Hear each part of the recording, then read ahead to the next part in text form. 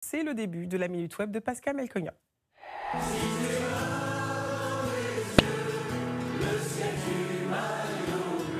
Voici le titre de Francis Lalanne en soutien à l'équipe de France de football.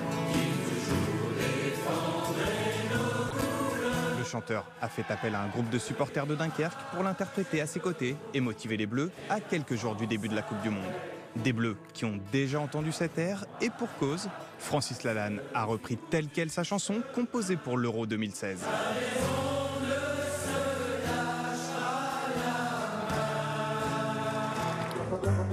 Des dizaines de rats aperçus dans le nord-ouest de Paris.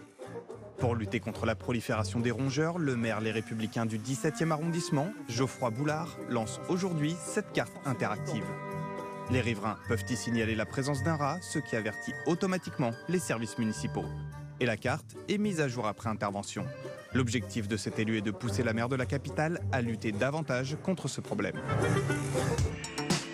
Moment de solitude pour cette Britannique, assortie ce jour-là à la moquette de son bureau.